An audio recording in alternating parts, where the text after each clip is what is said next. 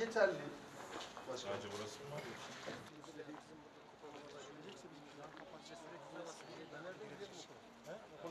Konya Büyükşehir Belediyesi olarak şehrimizin ihtiyaçlarını gidermeye devam ediyoruz. Şu anda Konya Lisesi'nin bahçesinde yapmakta olduğumuz spor salonu ve konferans salonu şantiyesinde incelemelerde bulunduk. Konya Lisesi şehrimize 100 yıldan fazla süredir eğitim veren ve birçok e, ülkemize hizmet etmiş insanın yetiştirdiği bir okul. Şu an itibariyle de şehrimizin en güzel okullarından birisi.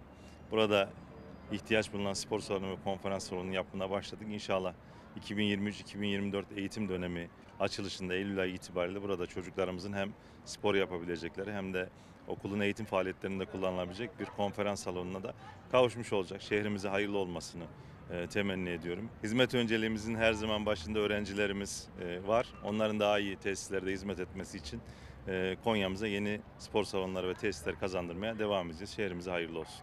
en iyi. Başkanım öğrencilerimiz hafif duyuyor, konuşabilirler. O yüzden iletişime rahat Evet. geçebilirsin.